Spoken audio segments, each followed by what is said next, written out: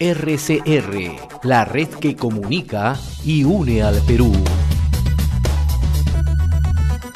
Somos RCR, Red de Comunicación Regional. Nos trasladamos inmediatamente hasta Puno y le agradecemos la amabilidad, la cordialidad que tiene con RCR, Red de Comunicación Regional, al señor Juan Carlos Mendoza, gerente de la Red Asistencial de E-Salud en Puno. Señor Mendoza, qué gusto saludarlo, muy amable, gracias por atender esta comunicación. Eh, muy buenos días, señor José Hernández. Gustoso de poderme dirigir a su audiencia de RCR.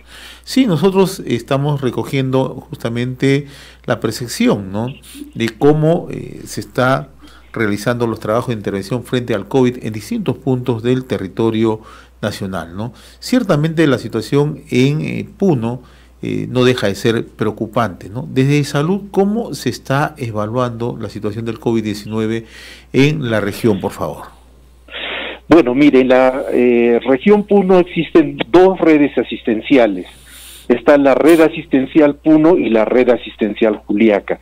Tenemos una red, eh, la red asistencial Puno que está de la provincia de Puno para el sur y tenemos la red asistencial Juliaca de la provincia del San Román hacia el norte. En realidad la presencia de salud es determinante, se ha estado trabajando articuladamente, ha habido algunos eh, problemas a nivel de lo que es el gobierno regional, eso no lo podemos negar, pero sin embargo la institución ha tomado eh, todas las previsiones, sin embargo siempre hay dificultades, siempre hay algunas carencias producto de la pandemia, están ante una situación inusual y se ha trabajado ya desde el mes de marzo desde eh, ya un plan de acción que se ha tenido, desde tres puntos de acción, los cuales los hemos venido desarrollando.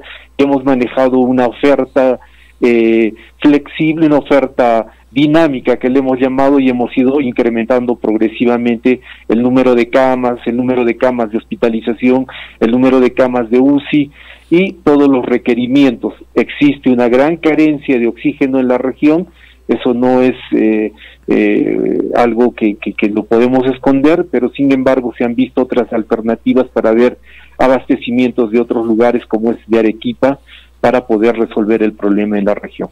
Usted acaba de puntualizar ser un tema que no solamente afecta a Puno, sino a varias circunscripciones del territorio, la falta de oxígeno, ¿no?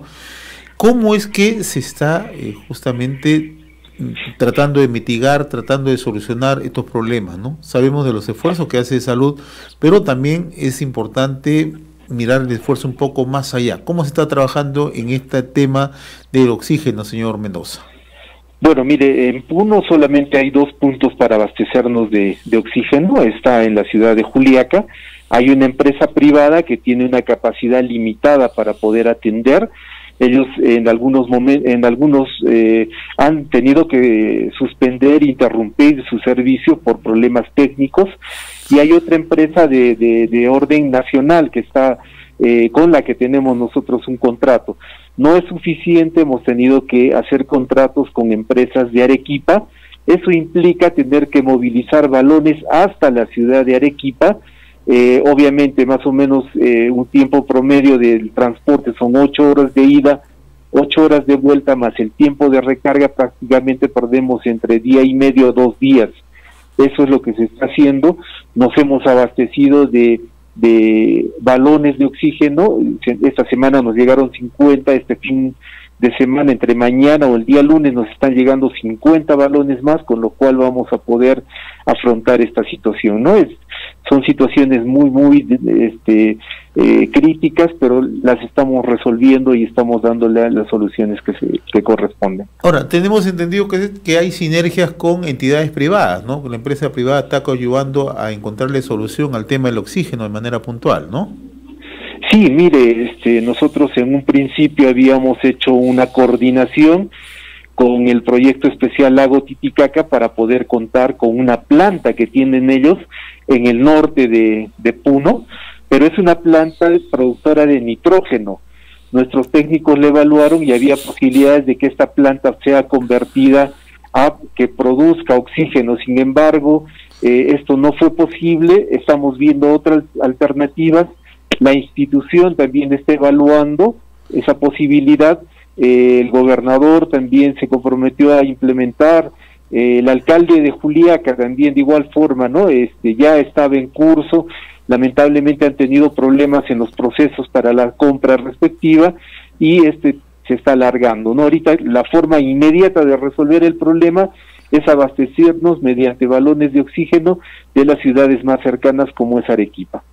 Ahora, ¿cómo marcha, eh, señor Mendoza, el eh, acondicionamiento del nuevo hospital COVID en la zona de Salcedo? ¿Cuánto se ha avanzado?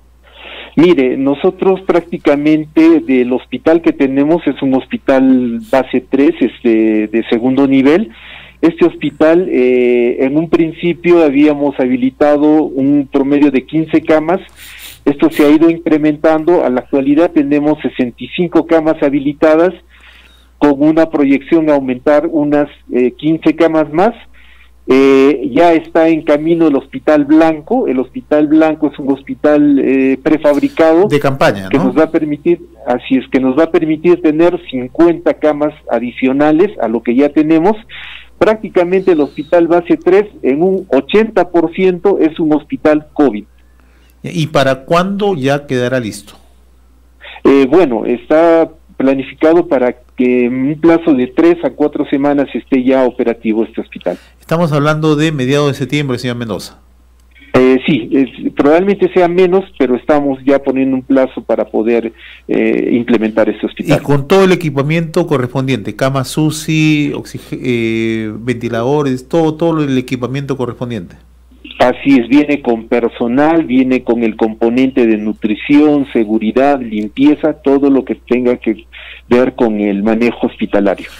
Usted acaba de abordar otro tema de interés, ¿no? El tema de personal. ¿Cómo es que se está en este momento encontrando soluciones al tema de personal médico, ¿no? Porque eh, la información que se tiene también en otros puntos del país, ¿no?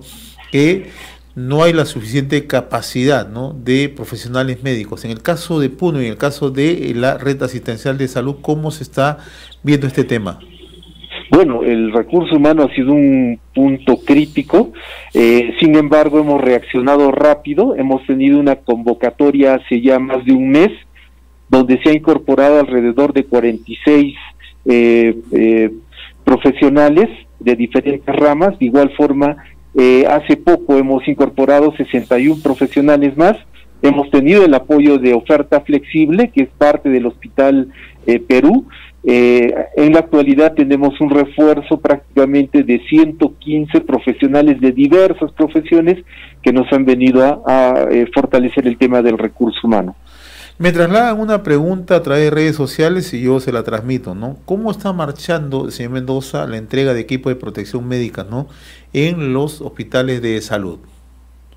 Bueno, mire, eh, nosotros hasta la fecha hemos recibido alrededor de 17 toneladas de equipamiento para lo que es eh, garantizar la bioseguridad del personal. Ha habido dificultades, ha habido eh, nudos críticos donde hemos tenido que resolverlos rápidamente pero está garantizado, ¿no? Hace eh, la semana pasada nos ha llegado una dotación importante de este equipo para poder garantizar esta esta situación de lo que es el equipo de protección personal. O sea, eh, se está garantizando, ¿eso significa que se va a regularizar la entrega que en los días siguientes, en esta semana que viene? Eh, no, ya lo tenemos, ya lo tenemos en nuestros almacenes y ya está.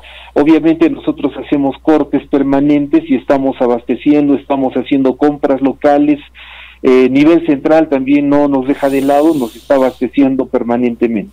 Ahora, como red asistencial, ¿cómo percibe usted el crecimiento de casos prevalentes de COVID-19 en Puno? ¿no? Porque de una otra manera, la situación ya no solamente es ajena a los hospitales de salud, sino también comprende a quienes están justamente en esta emergencia, entre ellos de salud, ¿no?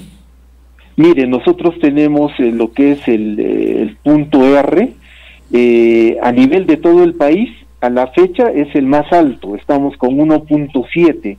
Eso es preocupante, eh, eso nos está mostrando lo que está pasando en la ciudad de Puno. Sin embargo, las autoridades han tomado algunas determinaciones, el gobierno central de igual forma, y nos está dando algún tipo de resultado.